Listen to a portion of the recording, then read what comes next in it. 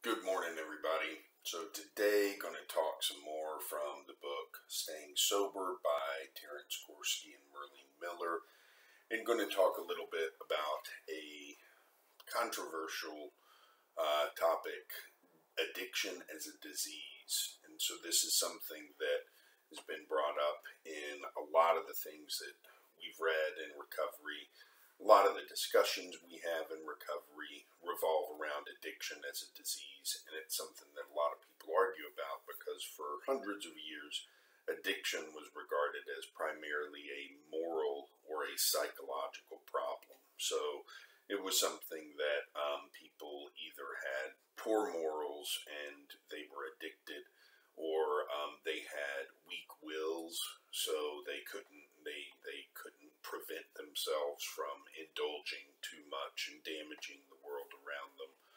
But research has proven time and time again that there are physical components to addiction. There are body system components to addiction that put it in the same class as other diseases like cancer, kidney disease, diabetes. Um, of course, it's very complicated. So the authors go into it like this. Um, and first, they describe what addiction is in general. Addiction is a condition in which a person develops biopsychosocial dependence on any mood altering substance. An addiction causes a person to use a drug for short term gratification, but there's a price to be paid. The addiction creates long term pain and discomfort. An addiction is accompanied by obsession, compulsion, and loss of control. When not using, the person suffers an addiction.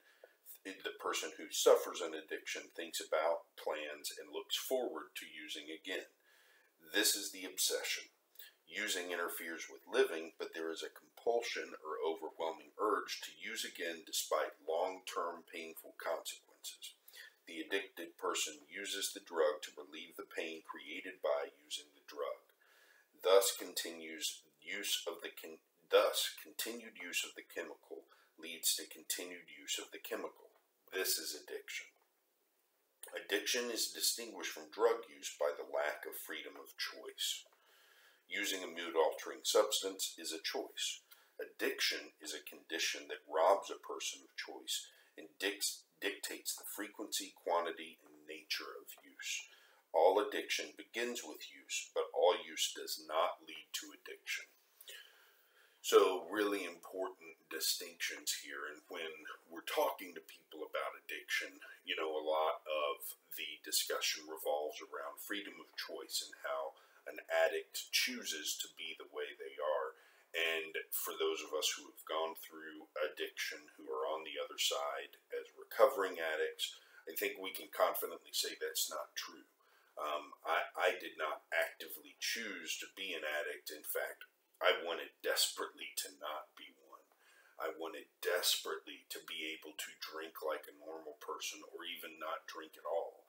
But that choice, that freedom of choice, was not present until I had a big change in my life, until I had to come to recovery. And so uh, the the active choice that other people are able to make by turning down drinks, things like that.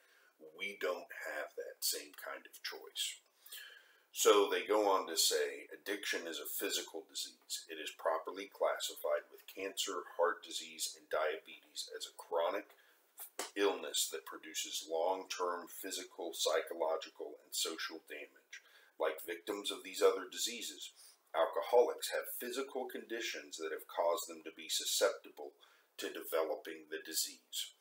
So here he talks about the doctors and researchers who have shown the physical physical symptoms, the physical issues that lead to addiction. Doctors like uh, Dr. E. M. Jellinek, uh, Dr. James Milam, Charles Lieber, Marc Schuckit, and he cites a couple of places, a couple of examples. Um, for example, the whole process of chemical action in the brain is very complex, but it is very clear that brain chemistry in an addicted person differs from that of a non addicted person.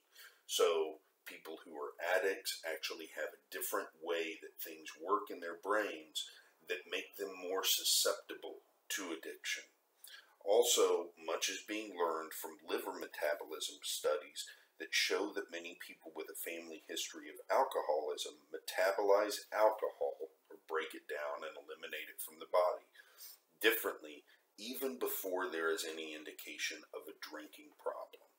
So people actually have in in our regular body systems pre physical predisposition to in, in ways that our bodies react to drugs and alcohol that are different from other people.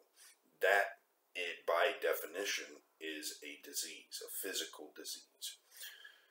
So then he describes the they, they describe the pattern and how, how this works and they say people begin to use alcohol or drugs for psychosocial reasons they drink because it makes them feel good a psychological reason because other people do because it helps them belong or because they are pressured to do so social reasons people come, become addicted for physical reasons. They develop tolerance. It takes more of the drug to make the same effect. The cells of the body adapt to higher levels of the drug and begin to function normally when it's present. That leads to dependence. The body comes to need the drug. The absence of the drug results in physical withdrawal, causing discomfort and illness. The more people use chemicals to feel good, the less they learn to use more effective ways to experience and cope with feelings, situation, people, and that's what leads to a lot of the problems that we have in our addiction. And so this describes the overall mechanism of how addiction works, why addiction is a disease, and it's very easy for people who have not experienced addiction, who have not been robbed of that freedom of choice, who have not experienced the actual phenomenon of growing tolerance and dependence on a drug, to classify addiction as something that is a matter of a weak willed person or someone with poor morals or someone who doesn't put their family first um, it's easy to classify it that way, but it's far more complicated.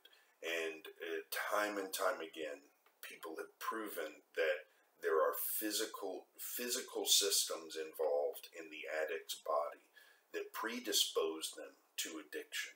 And it doesn't happen overnight. It's not something that, for some people, it doesn't even develop, you know, quickly. It's something that develops over a long period of time for some people, or very quickly for others. Depends very largely on the social situation, the psychological situation. But it's a very complex interaction that leads to the ultimate situation where someone doesn't have a choice in their using, and they are using despite desperately wanting not to. And that is the nature of the disease of addiction. So, really good stuff here. Um, hope it helps if anybody's having trouble explaining to someone else why addiction is a disease rather than a choice or a moral problem, because I know that that is a sensitive topic for a lot. Hope you all have a great Saturday. I'll see you back here tomorrow.